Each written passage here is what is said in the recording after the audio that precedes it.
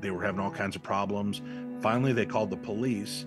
The police came and saw something and saw a hand reaching out. And when they kept calling out and it wouldn't respond, they just emptied a full clip into the floor. And when they opened up the door, there was nothing there. There was no trace of blood. There was nothing.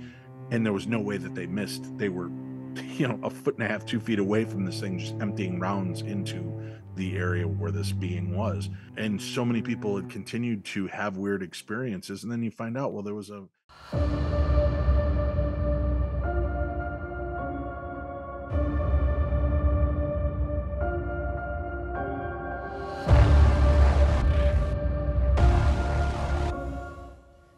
everyone. My name is Misti Gaither, and welcome to Quest, a journey into true crime and the paranormal.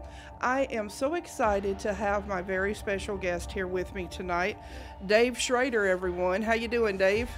I'm doing great, Misti. Thanks for having me. Of course, you know, eh, I'm sure everybody knows who you are, and you know that you were on the Holzer Files, The Ghost of De- Devil's Perch, and of course in The Curse of Lizzie Borden.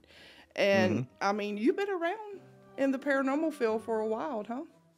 Yeah, about 18 years now. I've been actively involved in it with both my radio shows, live travel, events, and full on investigations. Now, you do have an event, and I'm actually going to get to meet you in person on March the 23rd here at, uh, in New Iberia at the Cajun uh, Paracon. So I'm going to be set up there also. So I'll get to meet you in person, and I think that is Excellent. like way cool and and uh, can talk. But I, you know, whenever I have someone on, I like to do a little research about you know who I'm going to be talking to, and and Sure. and you know not maybe ask the same questions over and over that um, everybody else does. But let's talk about something important, and that is Bloody Marys. You like the drink Bloody Marys? Oh, yeah. Oh yeah. Yes. All right. I don't know if you know or not, but in New Orleans would have a Bloody Mary festival. And I didn't be- know that. Oh yeah, and it would be nothing but Bloody Marys, and and I thought about you when I found out that you know you are partial to them, and I was like, well, you know, Dave, he just might like to come to the festival one time and see, Yeah. check it I, was- out. I just saw there's a new dill pickle vodka. And I was just telling my wife today that I bet with Zing Zang that would make an amazing Bloody Mary. Oh yeah, I mean, uh, definitely. Uh, Zing Zang, of course, is the best. And do you like your Bloody Marys? You like them spicy or not so much, or, or is there anything, uh, you know, I, unique? I like them to have a little flavor. I don't like like my dad wants some nuclear. He wants to be sweating Oh yeah. and dripping hot. I like it just to have a little pop, little little sizzle to it, but not hot hot. Now, what about like when you go places or you see pictures and they have the chicken sticking out of the Bloody Mary and the, the bacon and the Mm-hmm. uh, the big uh, celery stick and and I mean, is that something you go for? Or you're just like, no, don't frill it up. Let's just do the Bloody Mary. Hell no, frill it up. Life is short. There is one place I got to try to find the picture. It's got a skewer running through a piece of pizza, a hot dog, and a hamburger that's all stuck into the Bloody Mary, and it's like a twenty-five dollar Bloody Mary. Oh, I want it. That's that's one of my goals is eventually to get to that restaurant that serves that. But yeah, I like all the little fixins, the olives and mm-hmm. celery, and sometimes they do bacon strips, candied bacon strips. I'm all for it. yeah, why not? Like you said, you only live once, and um, Mhm. you know, why not do it up and do it up right? I really enjoyed, you know, like the series that you're on. Um, I met, uh, well, I haven't met him in person, but actually, Sam Baltrusis was my first guest on my show here. And I know that y'all did The Curse of Lizzie Borden together. So I was just wondering, you know, because, you know, when I was watching that, and I don't believe in all the episodes and different shows that I've seen you on, I haven't seen you being taken over by a spirit. Now I've seen you hurt and get pushed, but I haven't seen you get, you know, get uh, taken over by a spirit like what happened at the Lizzie Borden house. Yeah, that was really unnerving. Um, and again, it's it's one of those kind of things that you have to consider when you're entering into this field and kind of entering into a covenant with a spirit. When I'm there, putting myself forward to communicate, and you know, in that that instance, I said, you know, prior to our investigation and prior to the little séance we did, that you know that uh, I, I hope to make communication, and if you need me in any way to help this happen, and I just didn't think it meant through me. And what Mm. I didn't know is Chris Fleming, the medium. It's Yes. one of my best friends and guys I've I've known for 18 years now. He had kind of set that intention to let me have the experience and i didn't know that so Oh. when my when we were originally holding hands during the seance and this twitching and arm flopping started hmm i thought well what the hell's wrong with chris Oh, you thought it Uh, was him. i thought it was him until Yeah. he let go of my hand and i realized my hand was the one freaking out and then he said i know what this is i know what this is give me a pen and dave keep your eyes closed relax just let this happen. And it was you know going into an automatic writing session which was really unnerving when you're not used to having that ability and feeling i say it's like when your arm falls asleep hmm right? And you're you're looking at it and you're like i can't get it to move. I can't do it. This is such a weird sensation. Well Right. imagine that but then your arm starts to do things and and starts writing and you have no control over it that was so weird and unnerving to me and i wish i hadn't fought it as hard as i did i kept kind of i guess me- mentally and physically pushing back on it not wanting to have that experience because it was so foreign to me and made me just feel uh, awkward. So I wish I would have not fought that as as tough, and I wish I would have been able to be a little bit more into the moment and have enjoyed it. But it was it was pretty exciting. Now, do you think that Lizzie was guilty? You know, out of respect to her and what that that meeting that day meant, hmm I really don't think it matters anymore. And I think the fact that whether she was mentally kind of split down the middle and part of her was involved in this murder or she was fully cognizant, I I think we've she, she's what's the word I'm looking for here? She has done her time and had been treated really poorly in life afterwards, even though she was found innocent. There were enough other things that made it seem like you know maybe there's a reason for her uh, innocence to be considered you know s- sincerely. So i try not to let that go. I think there was definitely something there something that influenced whoever it was in the house. Hmm um, but i don't know if that would necessarily be her or her uncle or somebody else I mean, as, as the uh, list of suspects are very, you know, there's a lot of them, and like you said, does it really matter now? You know Right. that, you know, that was what 1892 or something, but still, you know, like you said, in in life she was persecuted, even though she was found innocent, and in death, I mean, she has people coming all the time wanting to talk to her and to, you know, find out now calling her back into that home. Yeah Right. calling her back into a place that she was so uncomfortable and unhappy in and it's just it's really tragic. So i have a hard time with continually calling on a spirit like that and and leave it be. It was an interesting an interesting time it was an interesting investigation i'm glad i got to be a part of it and there were so many things that didn't make it on on the screen uh you know we had um some of our cameramen were uh um very good cameramen that work for National Geographic and have been out in the field watching leopards eat gazelles, you know, I mean, and they Mm. just have to do their job. And these guys were baffled by the fact that independent cameras started powering off by themselves. Wow, yeah. And They couldn't get equipment to work properly. And then we had some of those X cameras that were positioned throughout the house, and those kept shutting down. So it was really unnerving uh, for the uh, cameraman and the, the production company as well. Oh, no doubt about that. Now you uh you were also on Holzer Files, the Holzer Files, which I think is one of the best paranormal shows. It really was a, a great you. and you know I agree with you. yeah, But it, it really it really uh, was. You know, it was we have Hans Holzer who wrote so many hundreds of books and and you know and then I think it was probably an honor. I know it had to be an honor for you and the team to be able to go back and research and and kind of find out some things that he wasn't able to back then. the thing was he conquered and and and dealt with most of those hauntings on his own what we were doing was not going back to double check his work he firmly believed a case was never closed that a haunted location would remain haunted maybe not by the ghosts that he dealt with in help crossover but that once you close that chapter something else might step forward and that's what we were finding in a lot of these locations where th- there were other elements of the stories that needed to be told from other spirits perspectives and that's what we really focused on Now, you know what? One of my favorite episodes of the Holzer Files, and it was when I, I'm sorry, I can't remember the name of the episode, but it was when uh, it was in a mansion and she kept saying my boys will return or something like that or the the lady. And and then when y'all had the uh, gentleman that hadn't been there like 50 years come in right. and her spirit you could see it.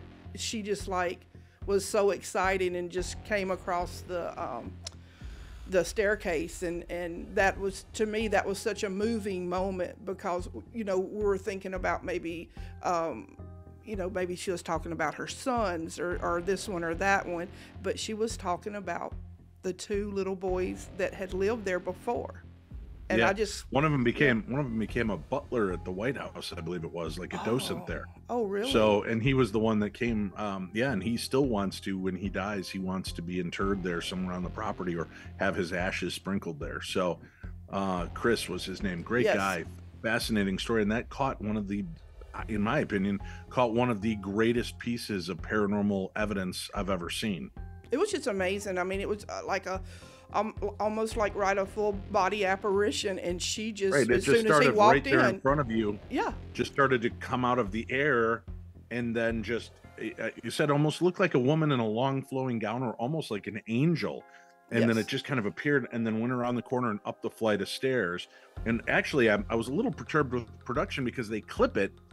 There's the extended version where when you hear as soon as it crosses and goes up the stairs and Mhm. vanishes from view you hear my voice say oh cindy we're not alone someone just came in the room and i have the K, uh, i have the sls camera focused on it and sure enough something walked into the room so we caught it on two cameras one Wow. downstairs as it manifested and one as it entered the room that i was in Uh, That's just amazing. And speaking of, of Cindy Kaza, I mean, Mm-hmm. you she was on the Holzer Files with you, and then the Ghost of Devil's Perch, Yep. also.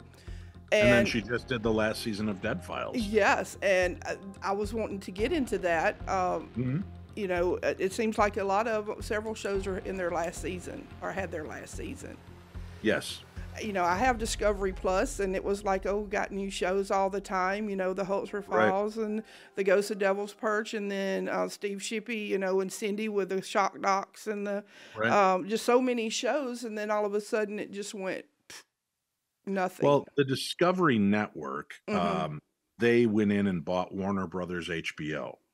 And when they purchased that, and this is all public information, you can go read all the articles.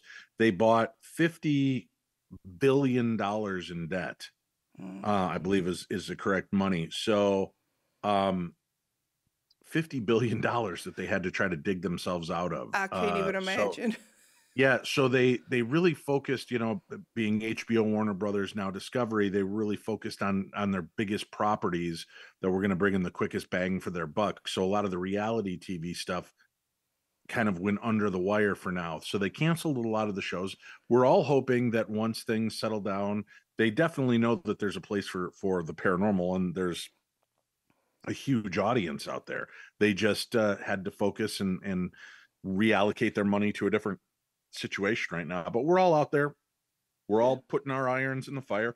There are some different programs that are going to be popping up on different networks, and hopefully, at some point, you'll get a chance to see me back on your TV screen. And with God's grace, I hope that it is with Cindy and with Shane because I'd love to work with them again. Yeah, they're both are amazing. You know, Shane was in the Holzer Files with you, and then he was on 28 Days Haunted, and Yeah. uh, that was amazing to be, in, you know, in one place for 28 days. Is that something that you would do, or do you have a, a tap out at like two nights or a night, or? Oh no, I would I would love to. As a matter of fact, I was uh the, the production company that made 28 Days Haunted was also the production company that did the uh Ghost of Devil's Perch. And originally they wanted me for 28 Days Haunted. Mhm. And uh, uh network had my contract and they're like, "No, we want him on Ghost of Devil's Perch." And they had reached out and and said, "Um, so, you know, Dave, this is what we want you to do." And, and he said, "Boy, it really bums me out. I, I, wanted you for this investigative aspect of the show." He goes, "Now I got to find a team of three. And I said, "Well, you know, Shane from the Holzer Files has a paranormal team called the Searchers, hmm and it's the three of them." He interviewed them, brought two of them on, in a medium that I suggested, and they became a team on the show. Uh, but I would love the opportunity to spend 30 days locked into one haunted location and just kind of give it my all. But Shane really had a neat opportunity that his first TV series, he got to walk in the footsteps of Dr. Hans Holzer Right. And for the second series he was a part of, he was following Ed and Lorraine Warren's kind of protocols. I mean, you can't get more, you know, royalty, paranormal royalty than that. You know, um, Yep. Ed and Lorraine, and you know, it, it's just, I really was excited when Cindy, you know, um, Amy had picked her out to be on the Dead Files, and I was really Mhm. excited. You know, like here we go, because I always had admire her work, and And what's nice is the Dead Files is made by the same company that did Holzer Files. So it was a, a natural jump for her to go over and uh, fill in for Amy. Right. And, and it's just amazing because you know when you were talking about when you were doing Lizzie Borden and how when when um you know the spirit was there with you and you started like and Chris was saying about basically like doing automatic writing and that's something Mhm. that Sid, uh, Cindy always you know she's really into that the automatic writing and and it's Right. it really takes a you know for for someone do you think that you have maybe some medium um or psychic tendencies or you just kind of picked up things over the years or Well, I think that having been part of the paranormal for so long, steeped in this environment, you start to pick up on some of that. You start to pick up on some of the sensitivities of a location or a spirit itself. So I wouldn't say I'm a full blown medium. I guess if I worked at it, I, I feel I probably could become one. I'm not sure. I, you know, I mean, I, I've had psychic like abilities most of my life. Mhm. I just haven't honed that craft. I haven't built and strengthened that muscle, but maybe it's time to do that. That way I can, you know, be more more useful on an investigation. Uh, I, you know, I, I'm pretty good at going in and picking up on a location in the building that seems to have good activity and draw it to me. And there's been other times when I go into buildings and I feel drawn to a spot and immediately turn on my recorder and start getting back and forth conversation with the spirits. So there is some element of mediumship that's already a part of who I am. And then I found out, what about three, four years ago, uh, through Ancestry.com, I finally found my biological father and siblings. And he laughed. He said, I went and looked at your Facebook and social media, and I'm not surprised that you're into the paranormal.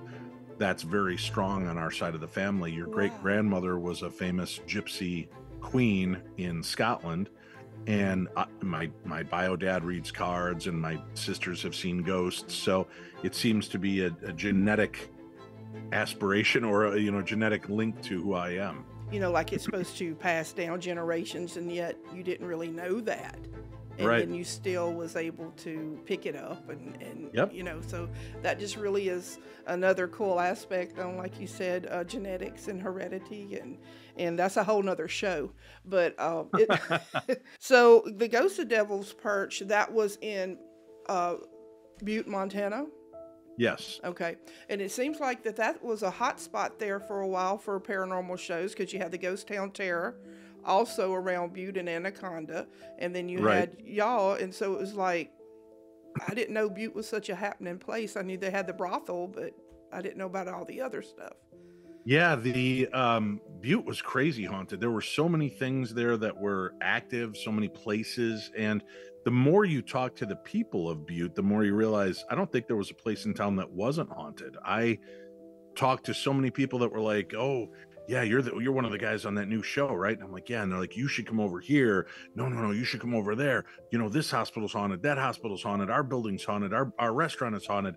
It just was such a part. But when you realize that there are all those tunnels that connect each one of the places around town and there's been so much tragedy underground from the mines hmm that it's really not a surprise that these uh, places are still so lively. And with you know all of the the reconstruction and work that they're doing now in in and around butte again kind of an interesting deal that they might be stirring those spirits up. And we we got a call to go in there and investigate it. We did and we had a lot of activity and tracked it down to who we believe was the the culprit for this. Yeah, I really liked that series, and thank you. um, you know, it was really good. And had KD uh, Stafford. He is an inventor, uh, investigator, and and um, I don't, I don't know. I, I, am trying to think of the word that y'all was using to describe him, but he's kind of like a jack of all trades. With he comes up with this yeah was our crazy tech, our inventions. tech guru yes yeah. tech gu- guru for real. And so I had a laugh. I said, so I've been on two paranormal TV shows where it's Cindy and myself, and then we're paired with some uh, country boy. Uh, Right. Shane, Shane being from Georgia, and I think Kentucky for uh, KD. So it's funny that both of our, our our tech guys were from the South, and uh, but they brought a different standard and way of investigating and looking at things. So it was great. Is there like somewhere that you haven't investigated but you really want to?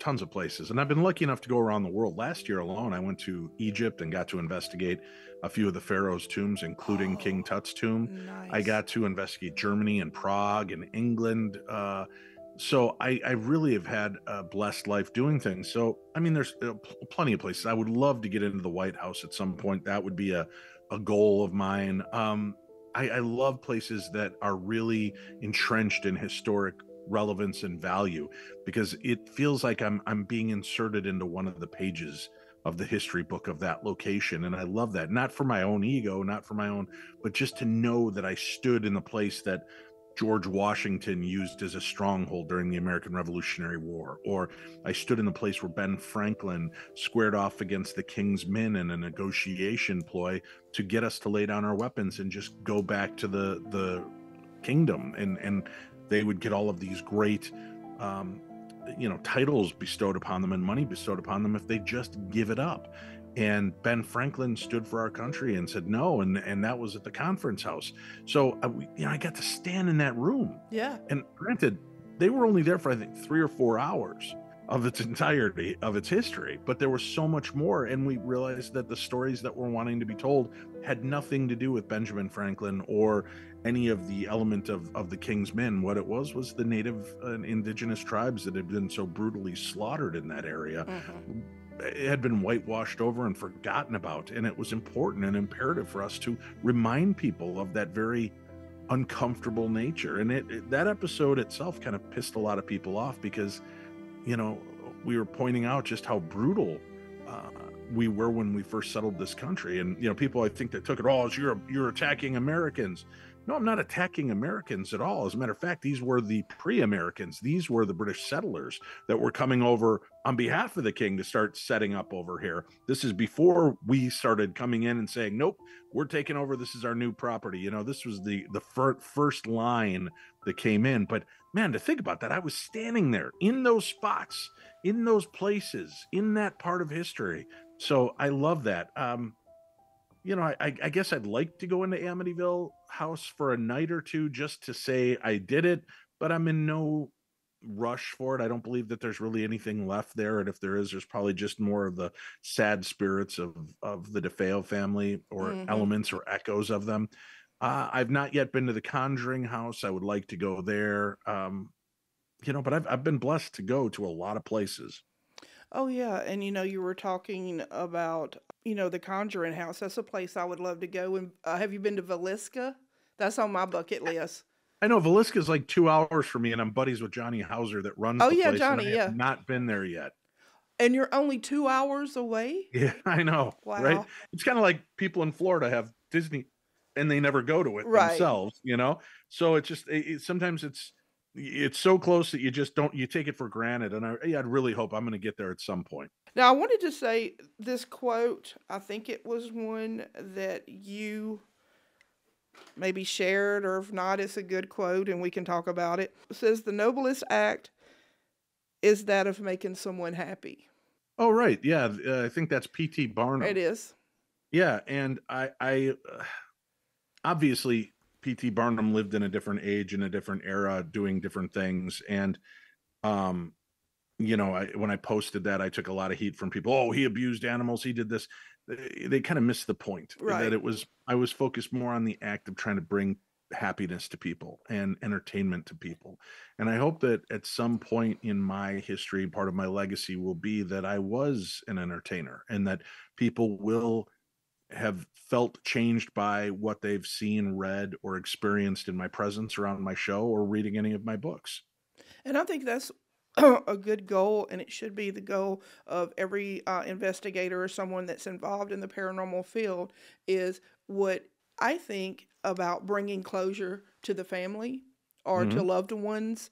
And if you don't have that goal and, and someone's just there to get scared or just for the story, or I don't like that. I think that's a shame because you have a chance that maybe, like you were saying, as part of history, you're there, you're in the same footsteps, you're in the same Right. place. You can get maybe answers from someone who's been murdered or someone that's been in history and, and that you can communicate with them and what you can and i'm a firm believer in um, you know the true crime and psychics you know being able to help to more mainstream on being able to help more with getting uh, cold cases solved. So that's just one of my things that i think that's real good because to bring answers and happiness to someone it hmm is im- uh, you just can't measure that. I mean No. that's a, a beautiful thing Yeah, it is, and I'm I'm pleased to uh, have the opportunity to be a part of these stories and be the voice for the dead, to be somebody that helps bring them back to the foreground in, in a positive way, sharing their stories. Sometimes so many spirits have been misunderstood as malevolent or evil or dark, when really what they are is somebody who's hurt lashing out. And you know, uh, Ghost of the Devil's Perch was one of those cases that here I'm kind of face to face, literally with this very angry spirit that a lot of people might have hauled ass out of there, um, calling it a demon and being terrified of it. And I really feel that I, I stood my ground. It knocked me on my ass, yeah literally it did and figuratively. And I could have run, but instead I turned around and I said, This is not acceptable. hmm I'm here to help you. I, I want to help you. So tell me what your story is. What can I do for you? And it told me, remember. And here we uncover the story of this man, literally one of the first people that helped to build this town. And nobody talks about him. We only talk about the winners. We talk about the the copper kings. We talk Mhm. about the famous brothel owners, but you forget of all the, the people whose backs were broken to create the town that Butte is. people need to think too that so many spirits are restless because they're not getting answers they're not getting the recognition and Mhm. even though uh, they have passed they still have a voice and we have to be the one that makes the voice heard because they won't be heard unless we do it. You take that time to hear the spirits convey their stories and show them the respect that they deserve in life and in death. Has there been a place that you have felt the most scared of? Uh, maybe i'll do there's no place i wouldn't go back to Mhm.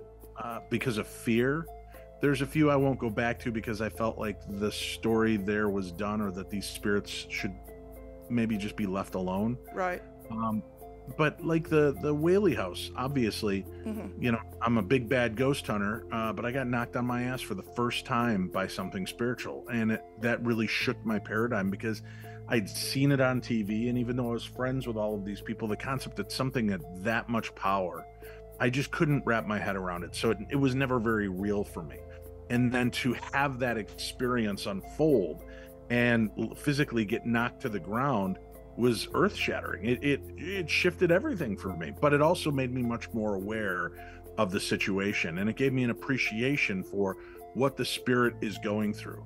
And that was an important realization because then I realized, uh, you know, as a father, I'm witnessing a, a kind of a petulant child lashing out hmm and how frustrating it must be for these spirits that they're there coexisting with us and uh, trying to tell their story, trying to be heard, and people aren't really listening.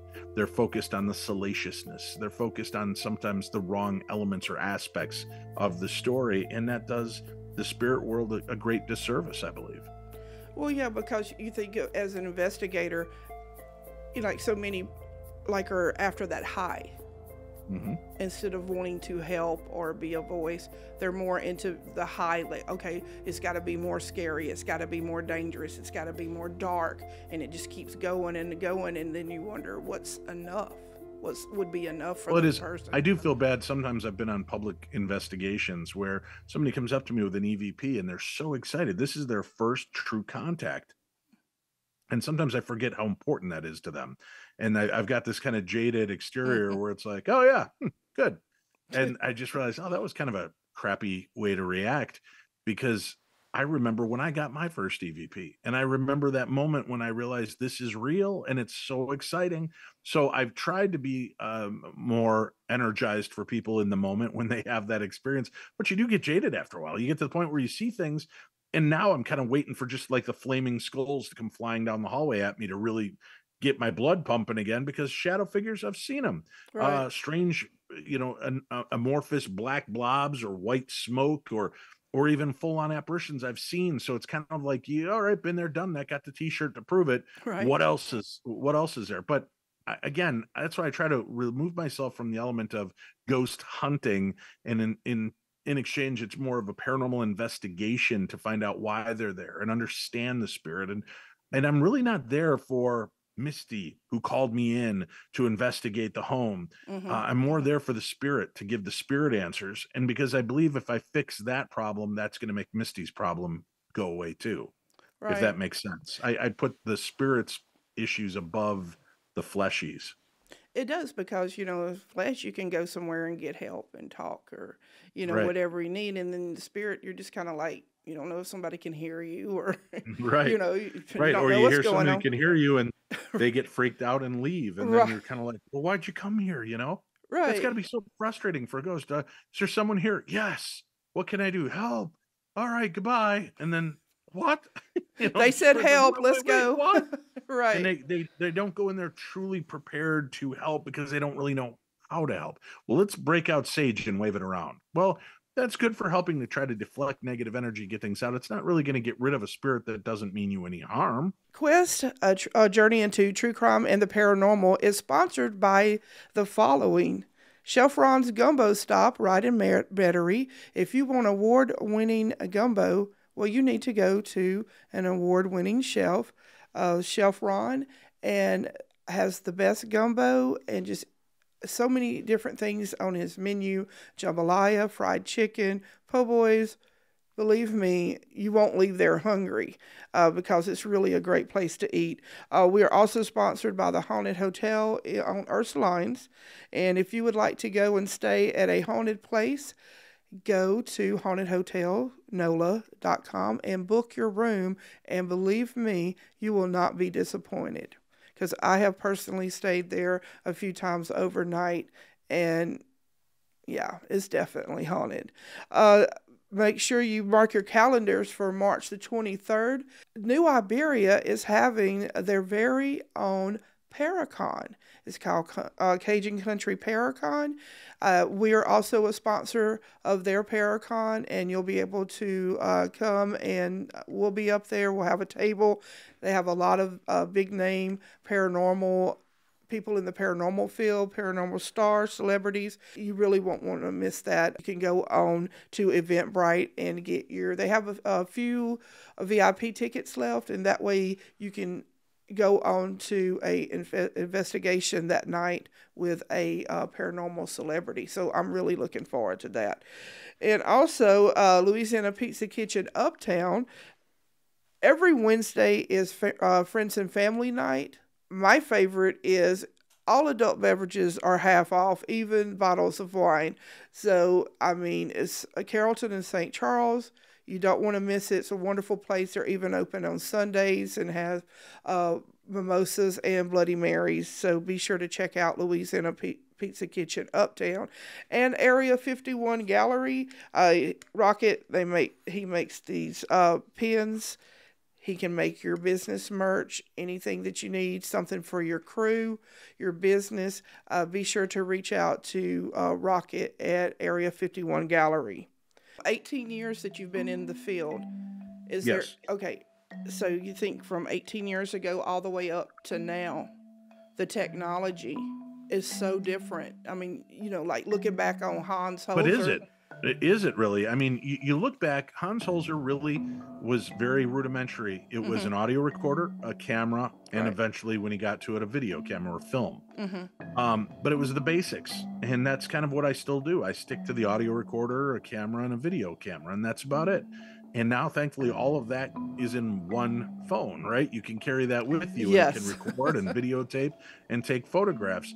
So we've kind of tapered it down, but I don't know that that the technology is any more improved over the 18 years. We've certainly seen new ways to utilize technology, hmm and that's part of the problem. You know, so many people have lambasted the paranormal TV shows because they're out there using all these tools that are not meant to, for ghost hunting. No, that's fine. But, you know, some of the coolest inventions in the world were created utilizing something that already existed and manipulating it for something else. hmm And what we were doing with those original tools, we're not going in to communicate with ghosts. We were going in to debunk the claims of ghosts by using an EMF detector, a K2 meter, uh, you know, an, an induction probe to try to find, uh, and even thermal cameras. Uh, Is there a leak? Is that what's causing this cold breeze? Is Right. there high levels of electron, you know, electric uh, magnetic fields or forces that are leaking from old wiring that could be giving you? Because we know that'll give you hallucinations or at least stimulate you into paranoid feelings. So we're, we were using those tools to try to understand what might be a natural cause for the feelings and sensations and experiences that uh, that somebody was having. And then we started to realize that if we are picking up a geomagnetic or a magnetic electromagnetic frequency and this thing fluctuates, it might be able to utilize it as a very basic communication tool.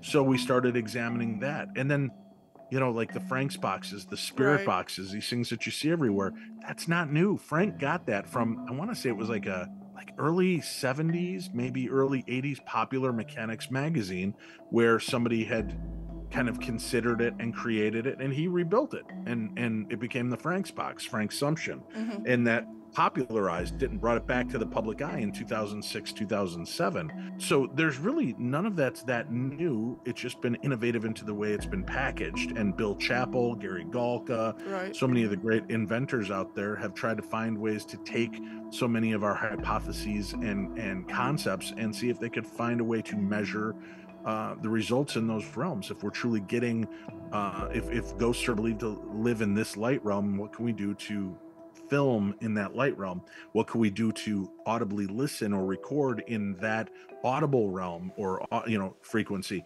So that's been kind of cool and telling but i don't know that it's delivered enough proof to people uh, of, of what's really going on out there like i said the, the holzer files to me. We captured some of the greatest evidence i've ever seen on tv and not just because i was a part of the show just we were dumb luck. We were in the right place at the right time with the right team and we caught some of the best evidence.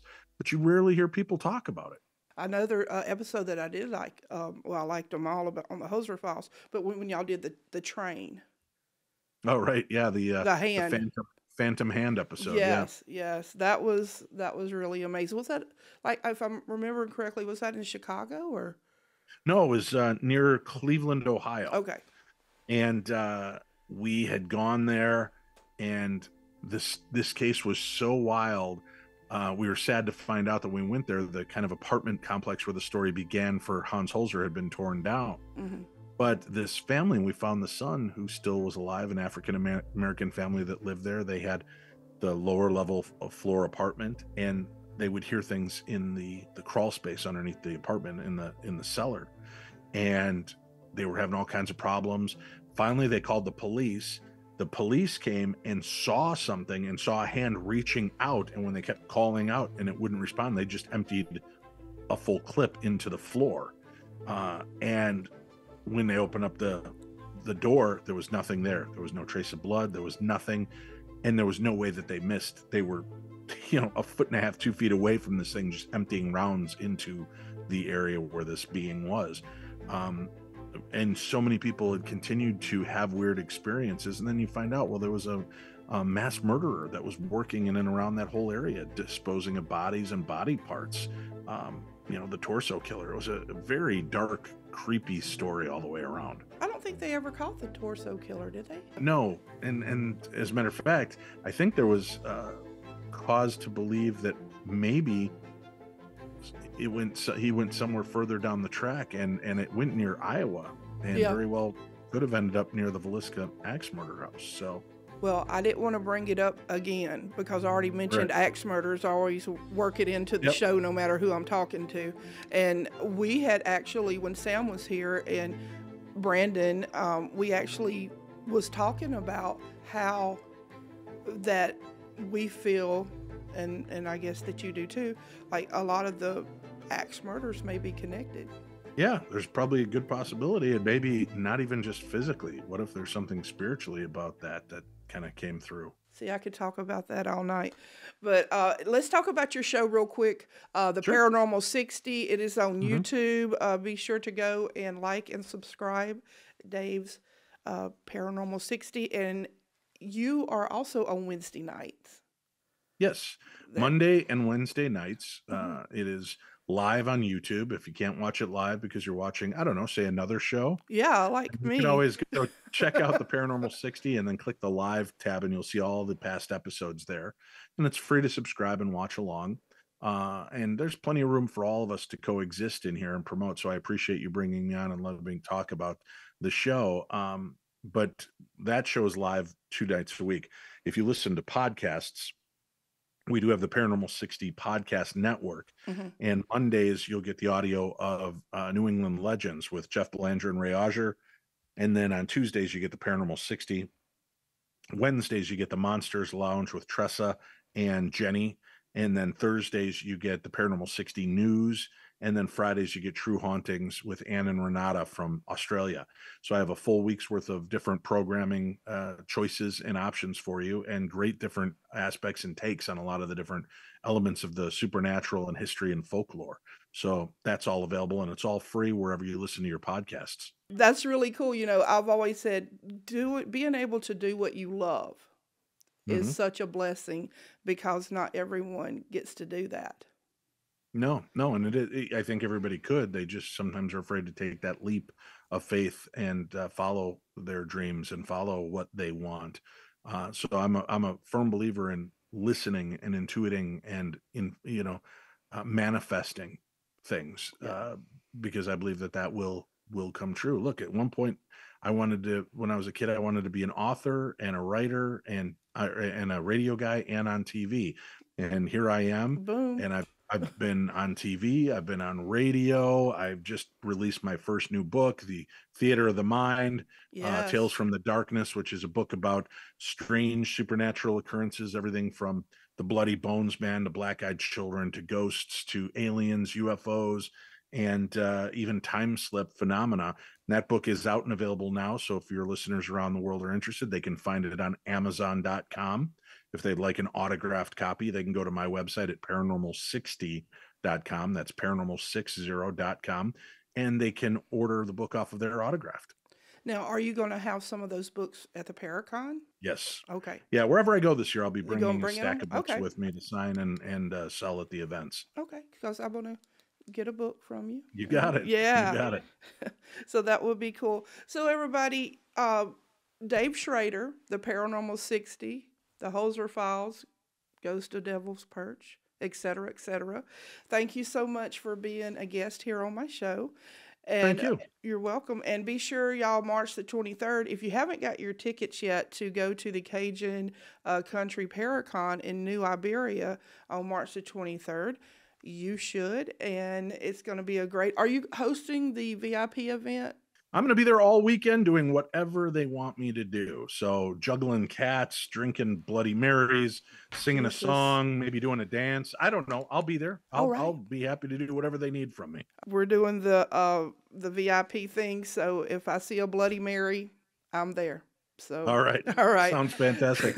Thanks a lot for involving me in on the show. And I just hope that listeners around the world find a little light in the darkness from conversations like this and that they don't feel so isolated and alone, thinking that there's nobody else that's going through this or that they'll just be made to feel stupid for seeing and witnessing extraordinary things. Don't look at it as though you're being picked upon, but look upon it more as it's a gift to be able to see and experience things that go far beyond our normal understanding. Definitely. And I couldn't said it better myself.